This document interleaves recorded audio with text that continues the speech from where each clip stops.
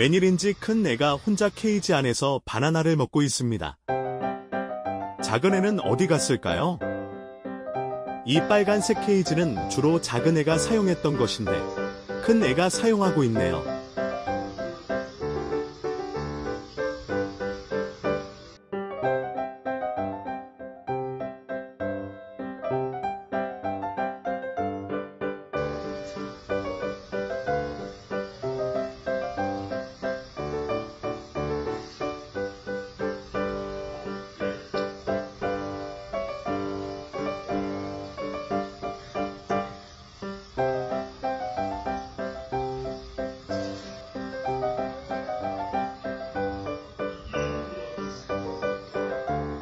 큰 애는 바나나를 꽉 두 손을 쥐고 먹고 있습니다.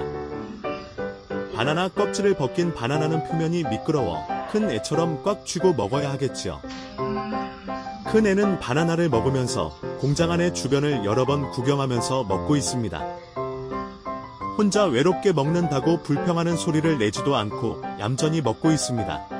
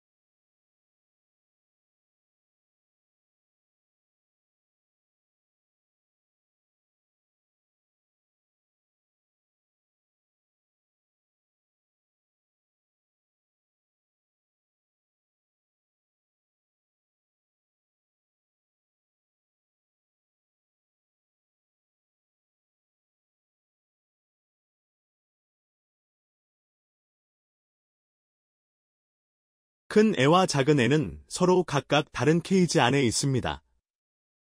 그런데 서로 무슨 대화를 하는 것 같습니다.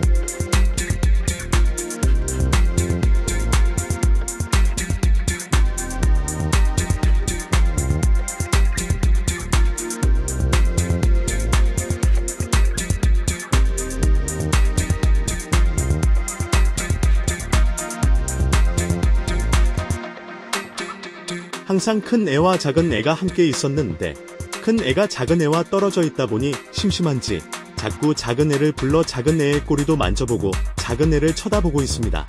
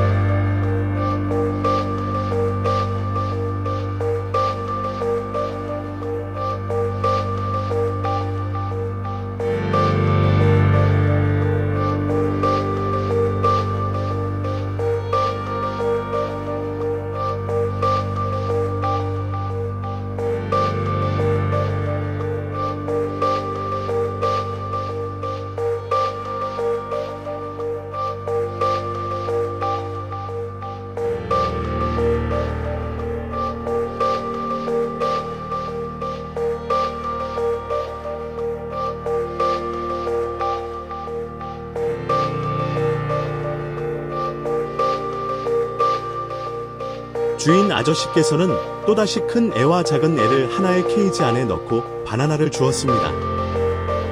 서로 많이 먹으려고 바나나의 입에 대고 있습니다. 그러나 이미 큰 애가 작은 애보다 더 많이 먹고 있습니다. 왜 이렇게 하나의 케이지 안에 함께 넣을까요?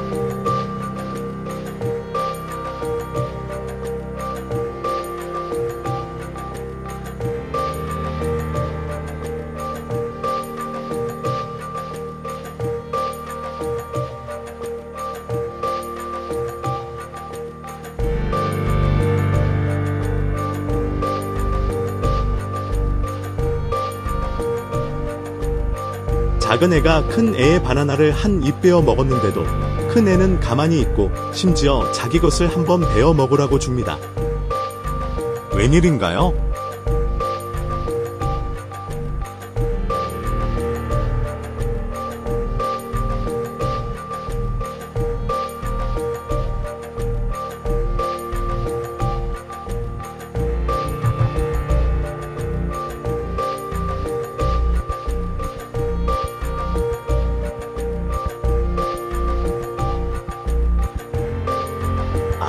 그러면 그렇지요. 큰 애는 자기 것을 버리고 작은 애가 먹다가 놔둔 바나나에 눈독을 들었던 것이네요.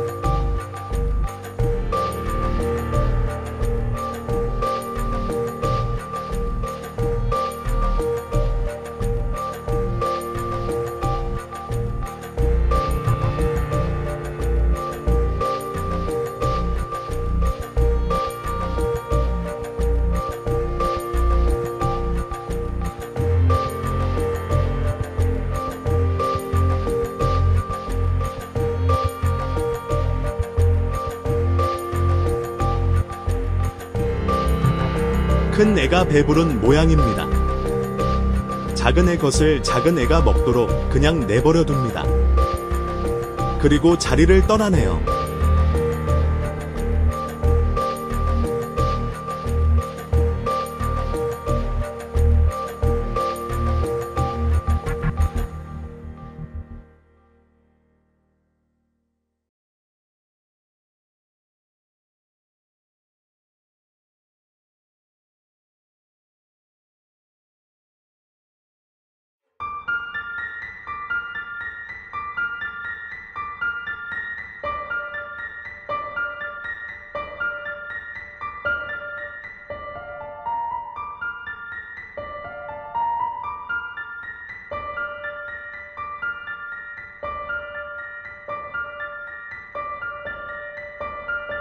큰애 혼자 자신의 케이지 안에서 바닥을 살피고 있습니다. 혹시 먹을 것이 떨어져 있는 것인지 찾고 있습니다.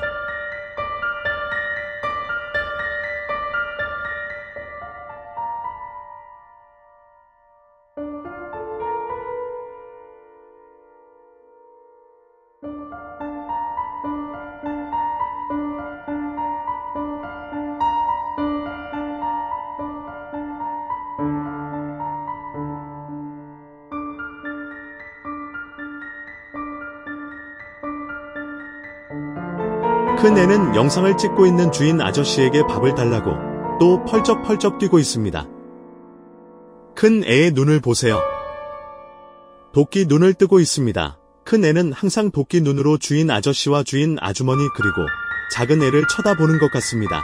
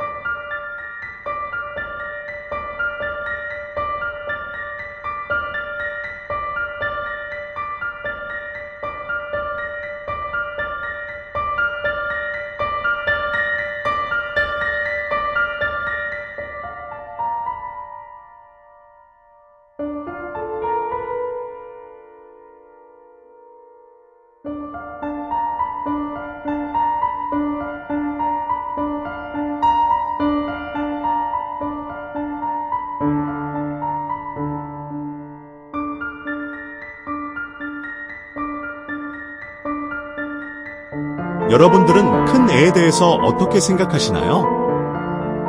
큰 애는 예쁘고 순한 이미지를 갖고 있지 않고 항상 불만이 있는 원숭이 같습니다.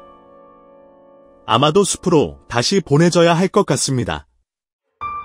만일 숲으로 돌아가도 정신이 온전하지 못해서 잘 적응할지 궁금합니다.